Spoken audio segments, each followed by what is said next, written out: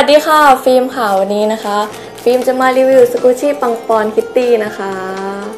เดี๋ยวฟิล์มจะแกะออกมาให้ดู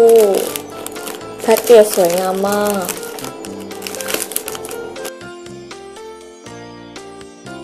ฟิล์มแกะออกมาเล่นครั้งแรกนะคะซื้อมาจากร้านชว่ามีแท็กด้วยหอมเหมือนนมปังเลย slow มาก รายละเอียดของสกูชี่ปังปอนคิตตี้นะคะ ตรงนี้ก็จะเป็นเนื้อขนมปังนะเนียนมาก สีของขนมปังก็สวยมากด้วย ตรงนี้นะคะจะเป็นโบสีช็อกโกแลตนะคะ รัดตัวสกูชี่ไว้ แล้วตรงนี้นะคะจะเป็นจุดสีชมพูเหมือนสตรอเบอรี่ น่ารักมาก ถ้าเพื่อนๆกลัวแท็กยับนะคะ ก็แกะแท็กออกมาก่อนก็ได้แล้วค่อยบีบเล่น slow มาก slow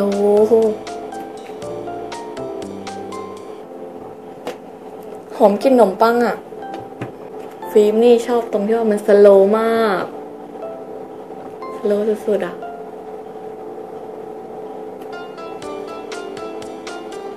ดูความสโลว์ของสกูชี่นะคะ สโลว์มาก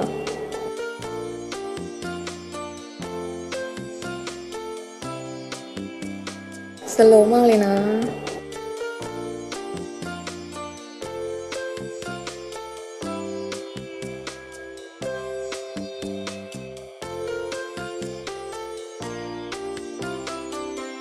ขนาดโบยัง slow เลยเล่นสนุกมากเลยปังปอนคิตตี้ วันนี้นะคะที่น้องฟิวส์ไม่มารีวิว เพราะว่าหลับนอนหลับอยู่เลยไม่กล้าปลุกเดี๋ยวก็ฟิวส์โวยวายติดตามฟิล์มฟิวส์ได้ที่ YouTube Facebook Happy Channel พบกันใหม่ในคลิปหน้านะคะ บ๊ายบาย ติดตามฟิล์มกับฟิวส์เยอะๆนะ